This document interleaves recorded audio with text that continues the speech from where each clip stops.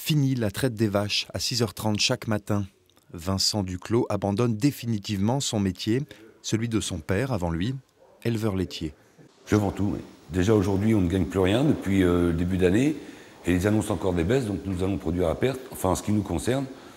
Euh, peut-être qu'il y en a qui arrivent à produire moins cher, mais euh, ce qui nous concerne, non, c'est pas possible. Il y a un mois, Vincent a mis en vente matériel, troupeaux et contrats de production sur un célèbre site de petites annonces.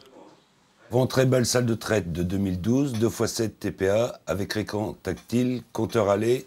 Au milieu des annonces de voitures ou de vélos, il vend son outil de travail, son métier qui définitivement n'a pas la cote en ce moment.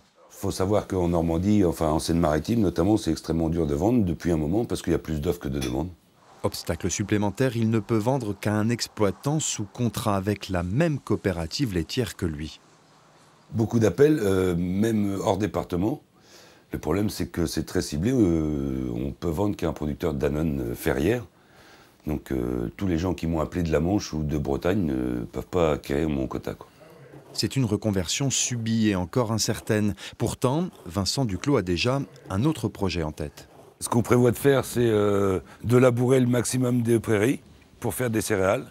Même si les céréales ne rapportent pas énormément, euh, au moins euh, il y a beaucoup moins de travail. Et ramener à l'heure de travail, c'est plus intéressant.